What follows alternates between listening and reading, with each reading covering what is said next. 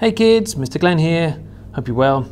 So in this lesson four, this is the second part, where we are going to start using a broadcast block.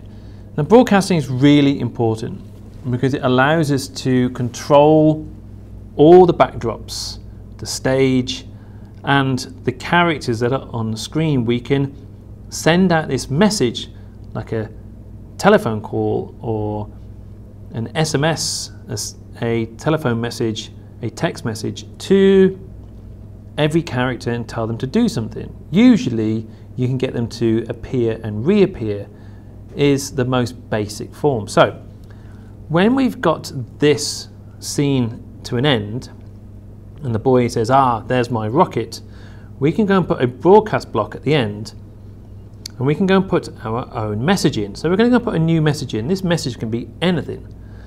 So I'm going to call this rocket because he's seen his rocket and the next scene is him walking towards his rocket.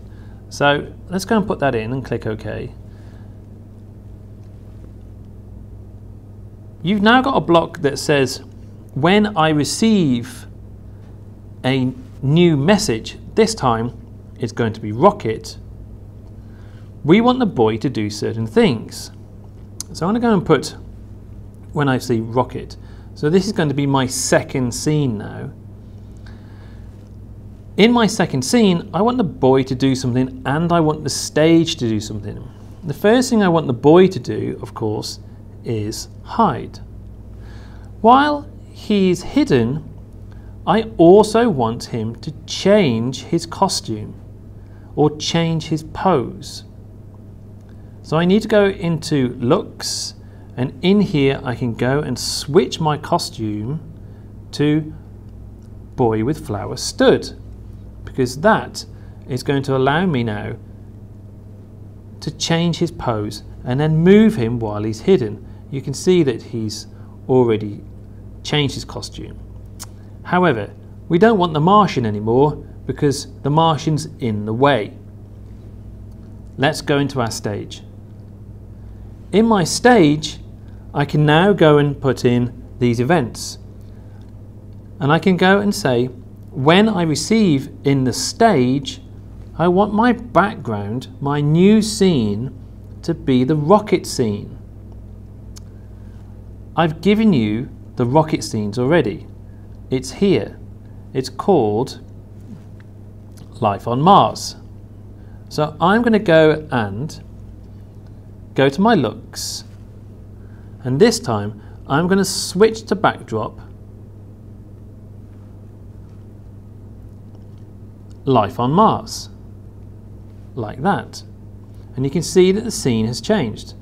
But the boy, I tapped on him, so my stage has changed.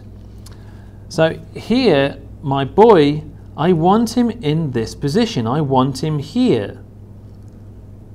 So, now that my scene has changed, I'm ready to make the boy move across here just like we learnt in lesson 3 by using the glide function. Like that. So I'm going to go and bring my scene 1 out of the way. I'm going to bring my scene 2 in here. And let's read this. So when I receive rocket, I want the boy to hide, but I also want the boy to go into the correct position, which is over here. So I have to go to my motion blocks and make sure that he goes to the starting point just like I have in this scene here. I need him in the proper starting position. I'm also going to make sure that he is in the correct size as well, just to make sure this is simply so that nothing actually happens. So while he's hidden and he's gone away, I'm going to make sure that he's at the same size as he was before. Switch to costume flower stood go to the correct position, and then I'm ready to start making him show and then making him glide just like we've done in the other lessons. So I don't want him to glide to here just yet. I want to make sure that he's moving over here. Glide, for one second to this position. I have made a mistake. I can just see that I've made a mistake here because he's still speaking. So what I'm going to do is just very quickly delete this and copy the text and put say this for a couple of seconds. Right, that's a mistake by me. I hope you are able to correct that too. Let's go back to where we are. When I receive rocket, I'm going to go and move him. So I'm going to keep going with my glide, make sure I'm in the right space, move him, pick up my glide, move him, pick up my glide, and I'm just checking that the numbers here are going in the right order. So I'm going to go and make him glide a little bit further, glide a little bit further, and so on.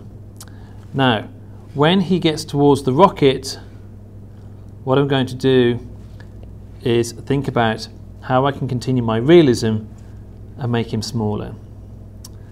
That's the end of this part. Good luck.